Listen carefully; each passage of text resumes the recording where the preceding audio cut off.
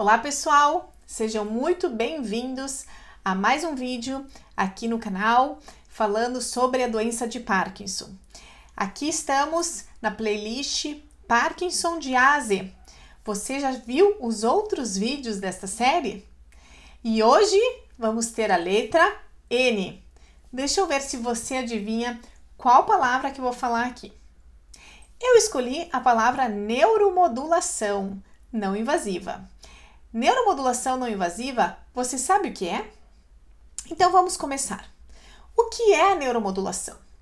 Nós chamamos neuromodulação todas aquelas técnicas ou terapias que acabam modulando ou modificando as células neuronais. Esta modulação pode ser feita através de uma maneira elétrica, de uma maneira magnética ou mesmo através de medicamentos, através de medicamentos químicos, das próprias drogas que utilizamos, que elas modificam essa vibração, digamos, dos neurônios.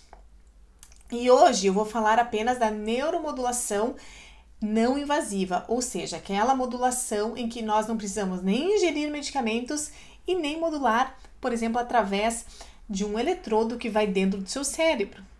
Como vocês sabem, a cirurgia de estimulação né, magnética, ela, essa cirurgia, ela é uma neuromodulação invasiva, onde nós insertamos um eletrodo dentro do cérebro para poder modificar as células.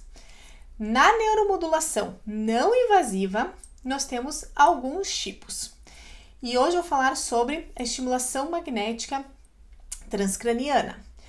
Essa estimulação magnética, como ela é feita? Ela é através, feita através de uma bobina, né, outra de um, de um aparelho que é colocada especificamente numa região do cérebro e dessa maneira ela vai emitir, digamos, é, é, estímulos para certas regiões do cérebro que nós queremos modular ou modificar para melhorar alguns sintomas da doença de Parkinson ou de outras doenças. Então, para que serve né, essa, essa que a gente chama TMS em inglês, chama-se Transcranial Magnet Stimulation ou estimulação magnética transcraniana no Brasil.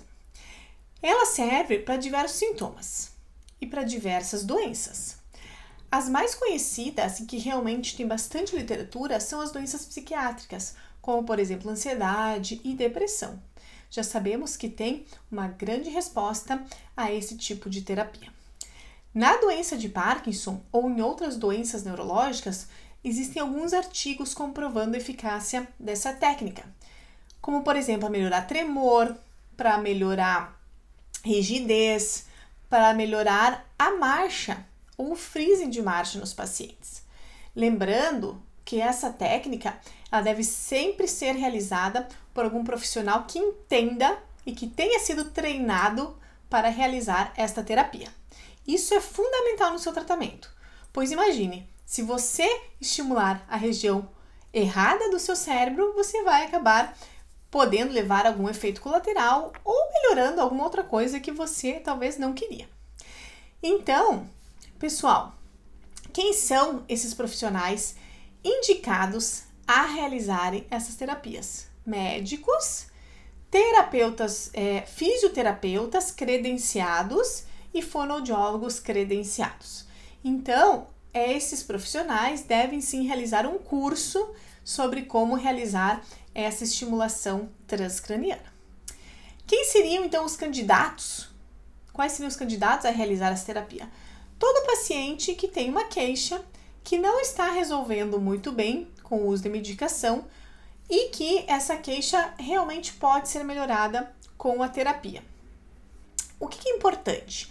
Quando você vai na consulta com esse profissional que vai lhe realizar a terapia, é você contar exatamente o que você quer melhorar. E ele vai lhe falar se com a terapia isso pode ser melhorado ou não. Normalmente se realizam entre 15 e 20 sessões, né? Então tem começo, meio e fim essa terapia, não é realizada para sempre. E as sessões são realizadas todos os dias, normalmente com uma duração de 15 minutos ou às vezes até menos, tá? É bem tranquilo realizar essa terapia, ela é indolor, né? Então não, o paciente não apresenta dor, às vezes aprende só como se fosse uns uns belisquinhos na região onde está recebendo aquela, aquela estimulação, mas nada doloroso, não é necessário anestesia. E normalmente a terapia é combinada com outra terapia no mesmo dia, como por exemplo, realizar exercícios físicos ou fazer uma fisioterapia para melhorar, ou mesmo realizar algum exercício de fonoterapia, caso esse for o desejo do paciente é, para melhorar. Caso for esse sintoma que o paciente deseja melhorar. Bom, e aí me perguntam: existe uma contraindicação? Quem não deve fazer? Bom, na verdade, contraindicação seria o paciente gestantes, ou se você tiver algum outro tipo de material, por exemplo, magnético, um, um, um estente né, na cabeça. Se você tem uma estimulação cerebral profunda, se você tem um eletrodo de DBS, você pode realizar, mas converse com o seu médico. Às vezes precisa fazer alguma, alguma programação específica no dia da sua terapia ou desligar o aparelho. Mas normalmente as contraindicações são muito poucas. Por exemplo, uma epilepsia não controlada, né? Então, é, converse sempre com esse profissional que vai realizar essa sua terapia e que ele for credenciado, né? Que com certeza você vai ter um resultado importante quando bem realizada ok? Se você tiver alguma dúvida sobre essa terapia, temos uma live de uma hora falando apenas sobre esse assunto. Vai lá aqui, vai aqui nesse meu vídeo, aqui no meu canal e assiste, que todas as questões estão super bem explicadas por uma profissional que trabalha bastante com isso.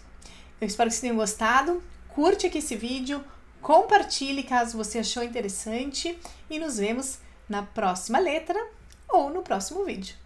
Um grande abraço. Até lá.